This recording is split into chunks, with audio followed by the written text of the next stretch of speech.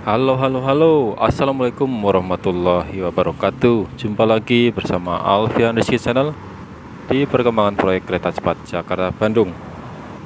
5 hari menjelang uji dinamis Tanggal 16 November 2022 Kereta CIT terus diuji coba. Bagaimana video selanjutnya? Yuk kita ikuti terus. Let's go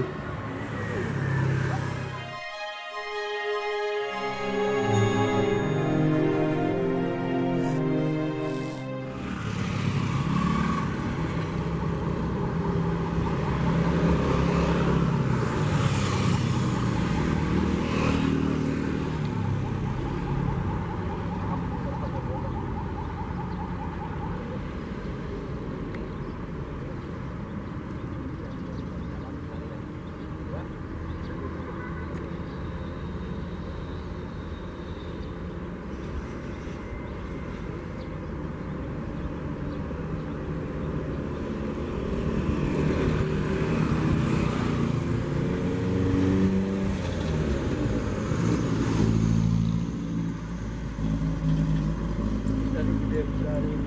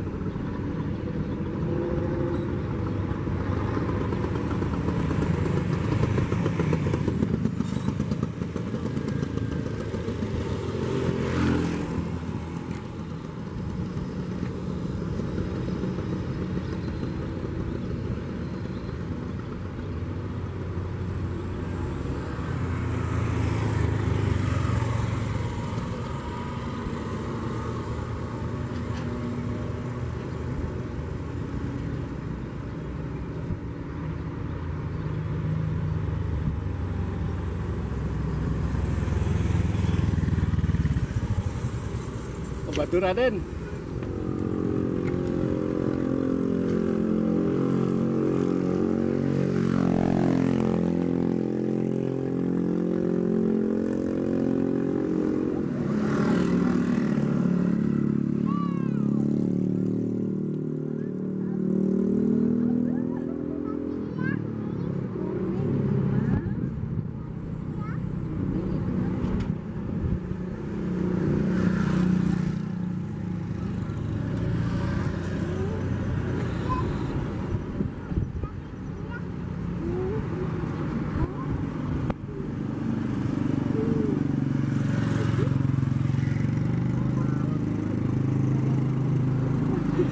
Setelah sampai di lokasi Kopo Bandung, kereta Siati ini kembali ke stasiun kereta cepat Tegaluar.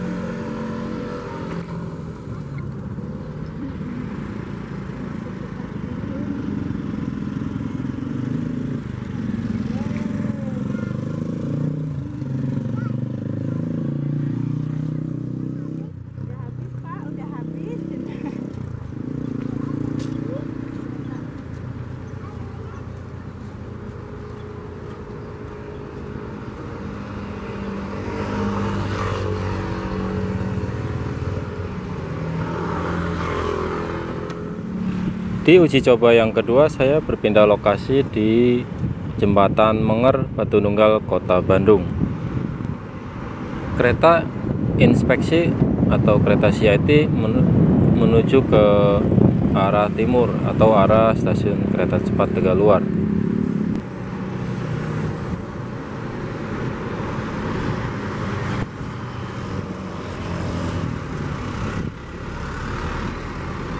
Wow, spotnya sangat cantik.